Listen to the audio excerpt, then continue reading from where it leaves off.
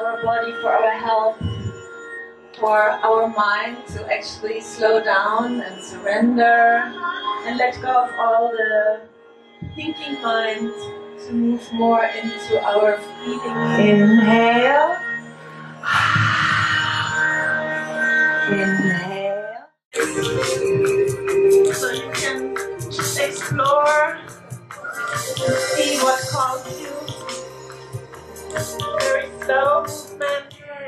Your arms, with your hips. This is very, very, very good when we grow older to move like that.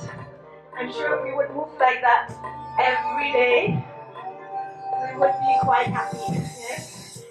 And you shift away. Shift and change. Shift and change. Shift and change. Shift and change. Shift and change. Through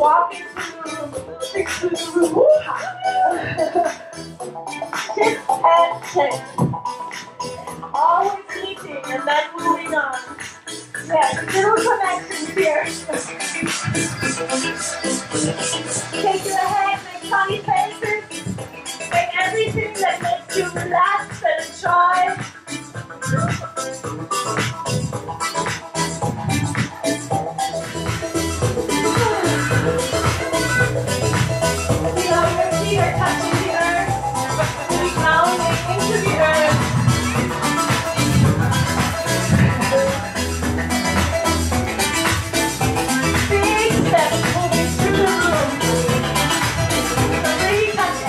No, just stay like that. That's okay too.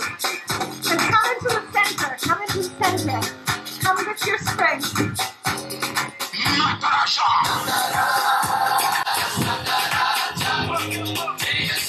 And then again, find somebody to make a rush of it.